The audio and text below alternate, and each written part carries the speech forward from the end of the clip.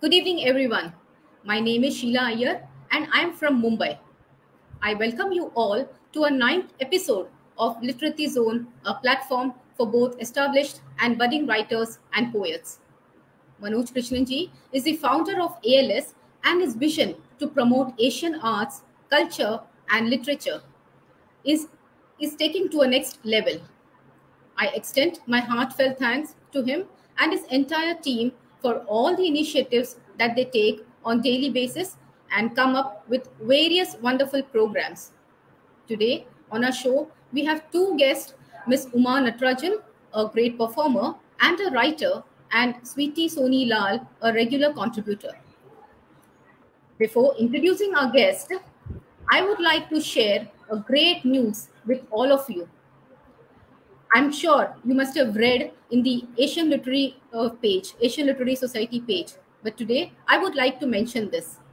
Asian Literary Society has been selected in the 2021 Facebook Community Accelerator Program.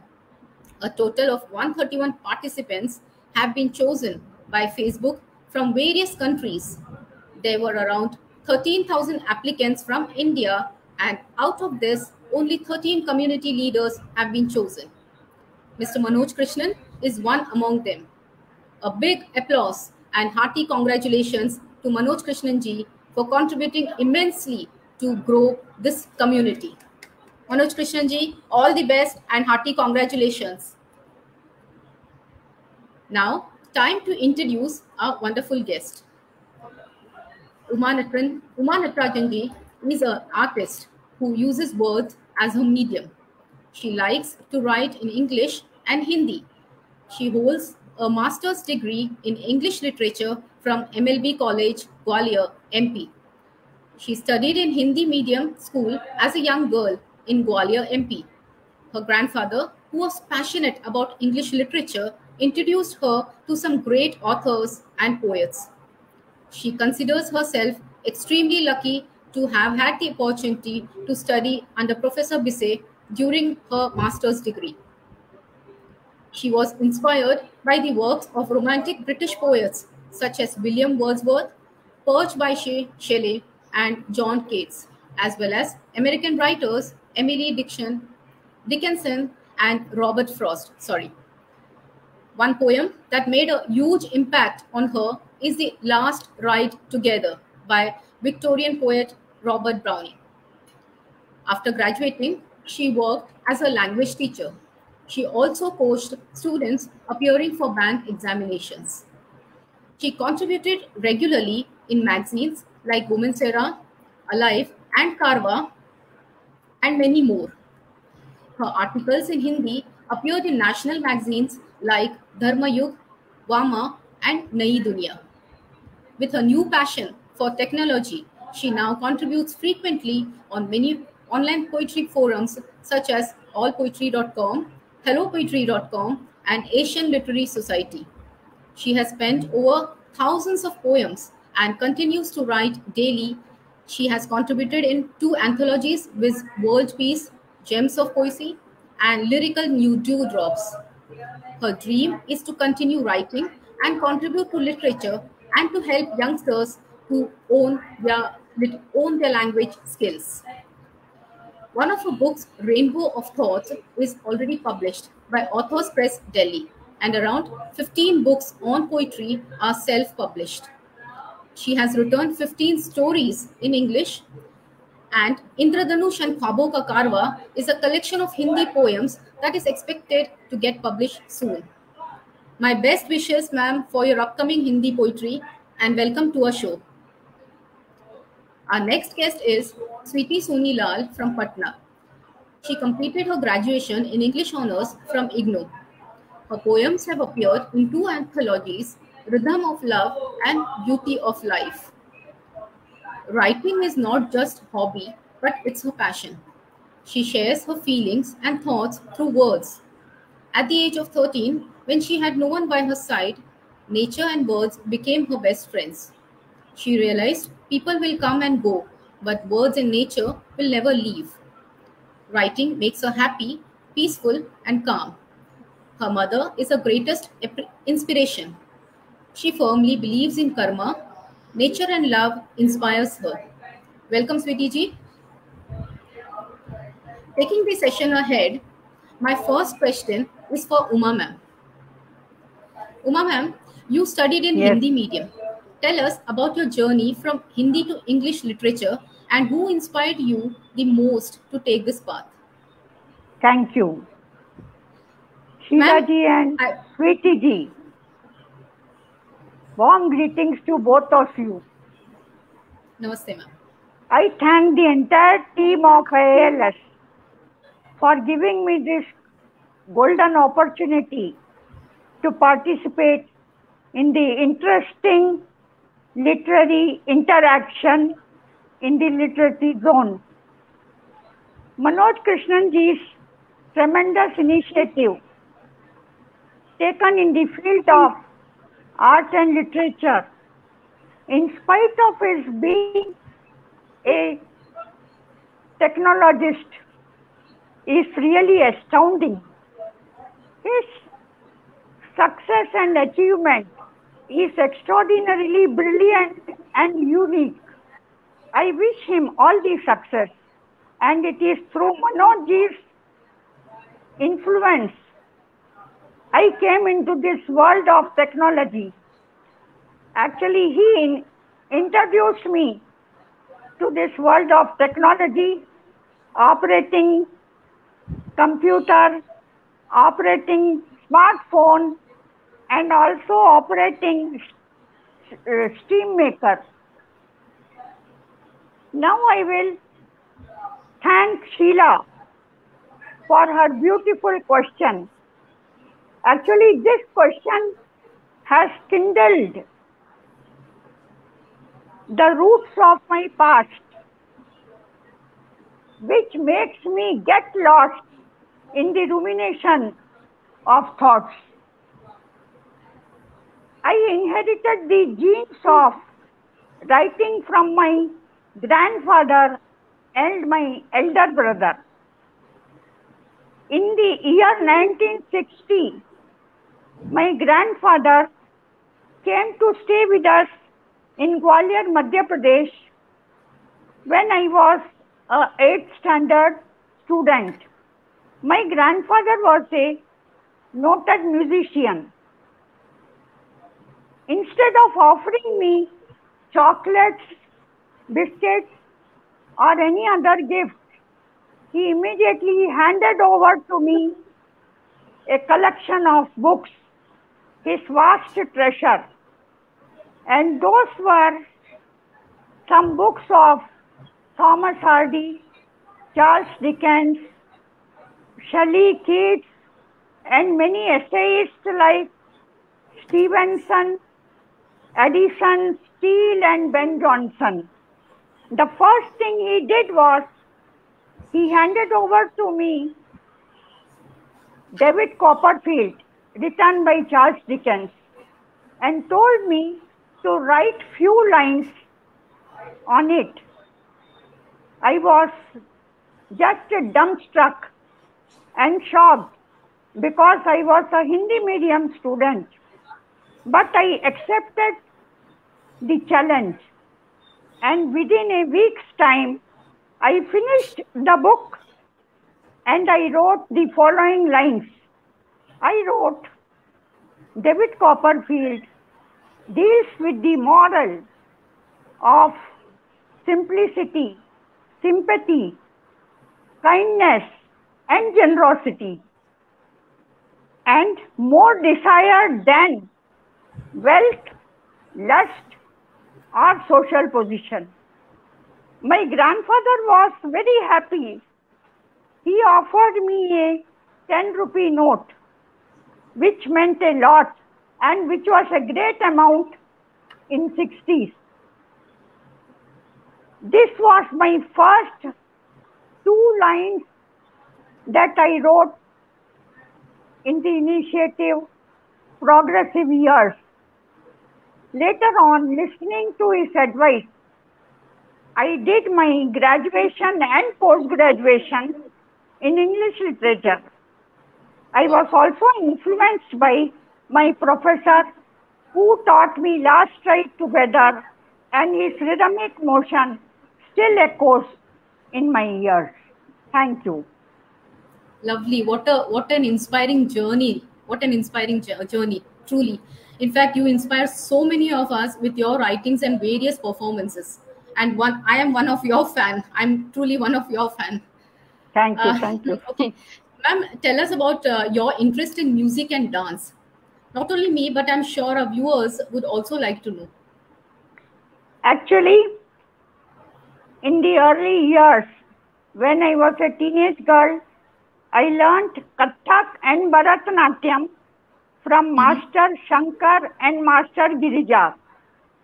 Okay. And after 30 years, I once performed Bharatanatyam on the stage. But Mhm. later on, because of my disease, osteoporosis, I restricted to my dance performance. And nowadays, I just manage to dance. That's all. It's not managing it. You are doing it very very well. And i'm sure all the audiences all the viewers who are watching you today will agree with me. I'm damn sure they will agree with me. Because we have seen your dance. You do so well. At this age you do so well. Really very well. Okay. Uh, thank you so much for sharing sharing Okay. these uh, beautiful things. Uh, now our viewers are waiting to listen from you. You have penned down thousands of poems and also a few Yes. stories so what would you like to recite today or narrate today Yes, I would like to recite one poem which has Okay. appeared in the blog of Asian Literary Society and it was a prize winning poem. It is on Great. tranquility. great The peaceful stillness of the night. Tranquility draws me closer to mystical moonlight. Gazing at the vast, shimmering sky looking so bright. Delicate winds sing the serene tunes with delight. Old trees nearby share their wisdom with might. Stars describe their magnificent, glorious rite. Spending nights with glowworms, listening to their plight. Memories spin under spindles of happiness serene, assuring to erase miseries which were solemnly mine. Tranquil showers wash over my melancholy divine, removing my stress by gently wiping it through calm sublimity. In the tumultuous sphere, ignoring away torments by integrity. Raindrops like the enlightened genuine healer gift me a soulful, harmonious day like a protector. Nature tenderly cocoons eternal love, paying the visit to me from all above, providing peace in the plentiful bounty, the poignant voice of sympathy which nature shows in its county.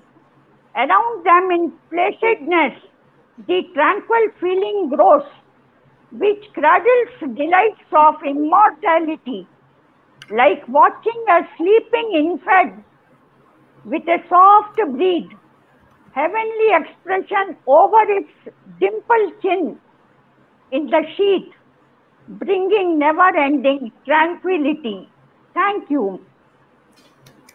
beautiful poem ma'am really lovely poem and a soothing rendition thank you so much thank you very much my next welcome. question is to you sweety you have been writing so many poems and quotes do you have any plans to publish your own book Yeah, I have a, a plan to, for publishing my own book, but my writing journey has started since one years only. So I didn't have focused on that particular base. I I only just shared my thoughts and emotion and just wrote through the words and feel so calm. Absolutely, I just feel like words are my friend and give me the attention towards the real silence of my within self and self realization, showing me the path of that versatile ways that what is perfect or what is imperfect for me is that focusing on my side.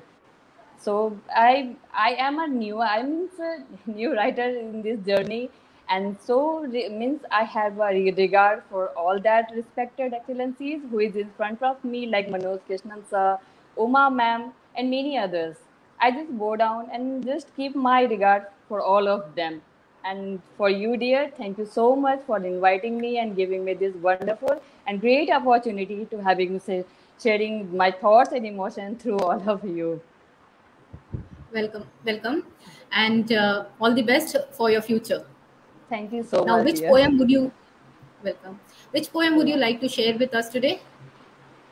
Uh, my poem title is means uh, based on I means I wrote the poem on Lord Shiva. So means title is Truth, and I'm sharing.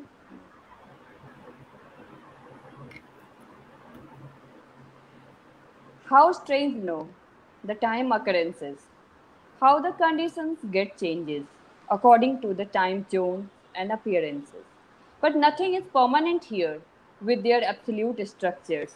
Then why we take so much delay for recognizing these real- realities of life journeys?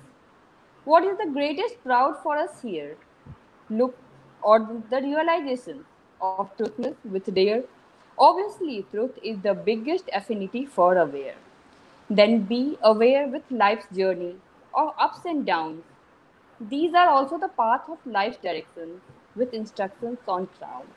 Don't be proud of any of your gettable success. It seems like a shining gazes only.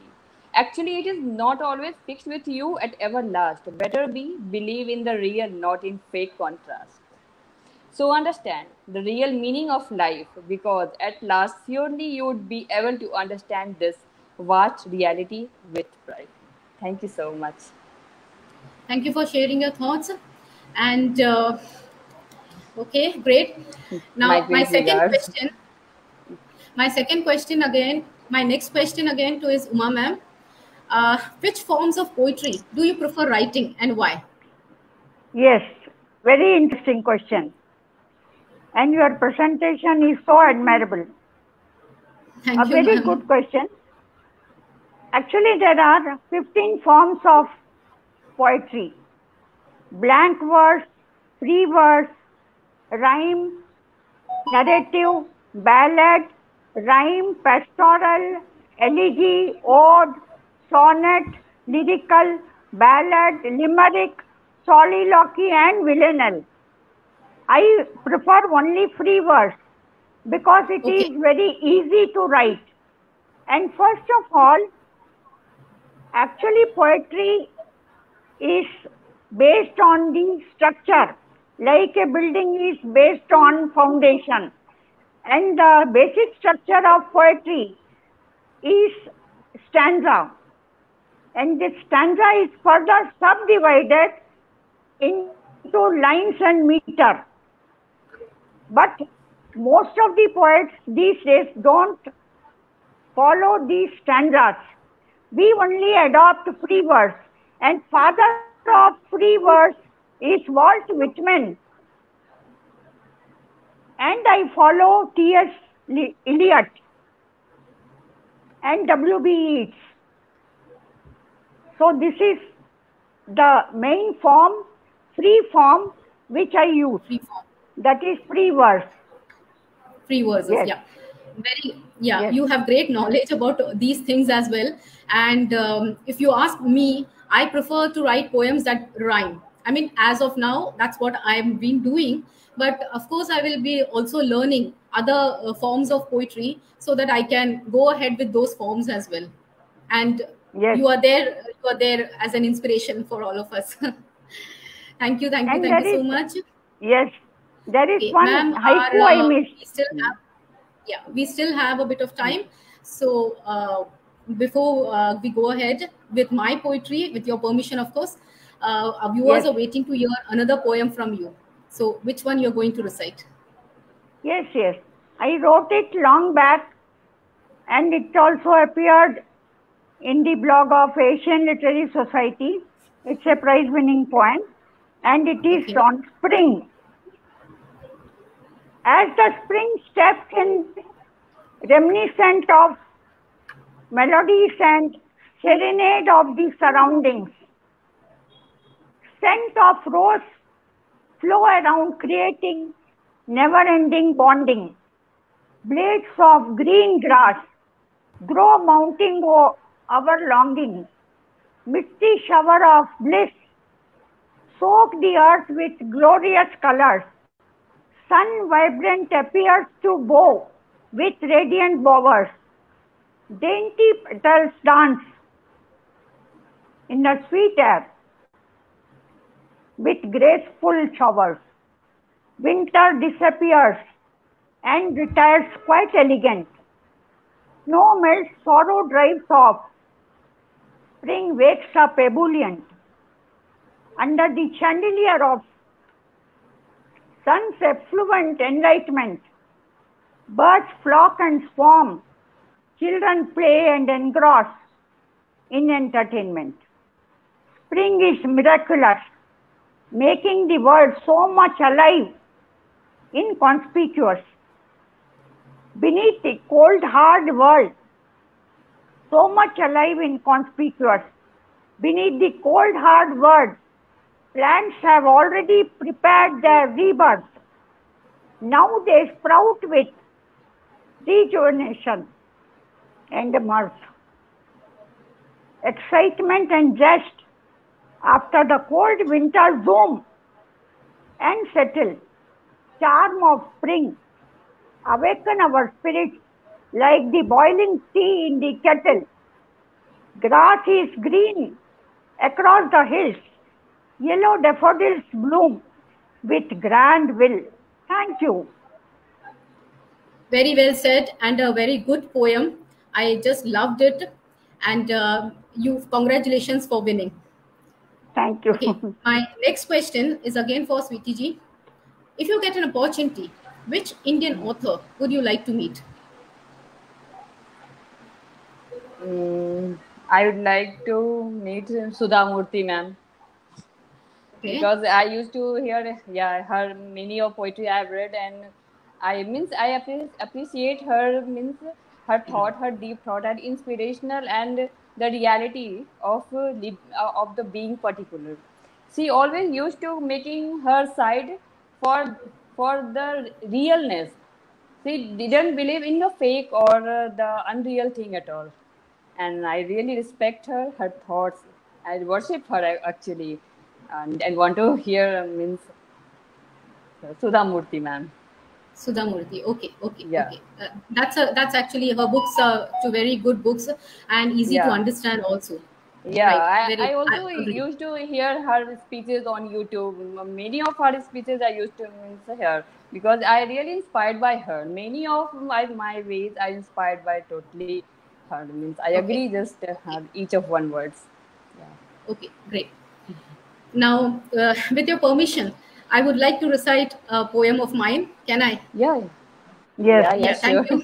yeah, Thank you, ma'am. Thank you, sir. Okay, the title of my poem is Pardon Me. I thought life is filled with love and compassion, but you wounded my soul by your actions. I dreamt of building a castle with love for you, but you crushed my dreams before I knew. I loved the warmth of your embrace, but today love has left only a printed trace. Awful memories lingered in my heart as if it had no plans to depart.